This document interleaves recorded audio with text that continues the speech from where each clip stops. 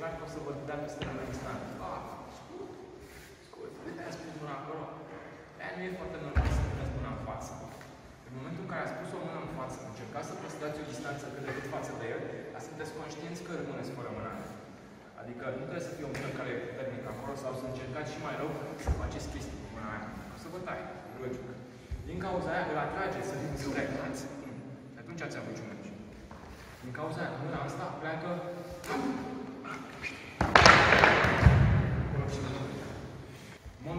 mod normal, când v-ați cimuncit, sunteți aici, doi, aveți asta, a venit spre mâna din față, coborâți suficient de mult, sunt aici.